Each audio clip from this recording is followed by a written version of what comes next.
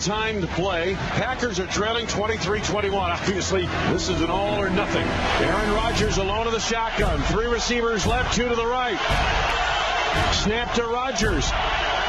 Scrambles to his left, under pressure, rolling right, escapes. Right side looking. Rainbows high and deep into the end zone, and it is caught. Caught for a touchdown. Won. Unbelievable. The Packers have won on an extra play.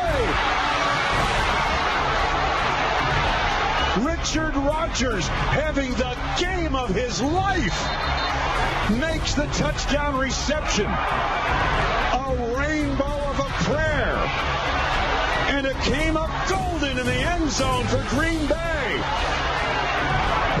Aaron Rodgers throwing up a prayer, and it's answered big time by Richard Rodgers.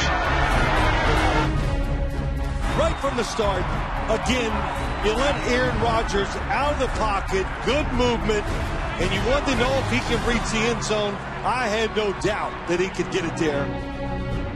61 yard pass play to Richard Rodgers. My goodness. I don't think I have ever seen anything quite like that.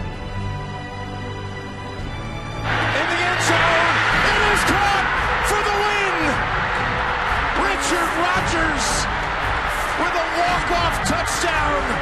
A game ender for the Packers.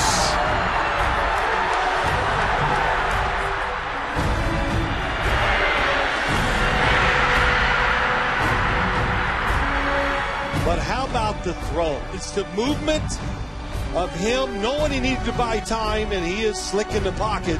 And then once he looked across the field, oh my gosh, that's from the 35. That's 60. That's close to 70 yards.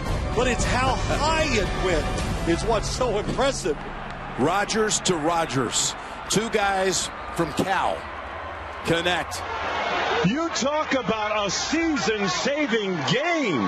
Oh my goodness.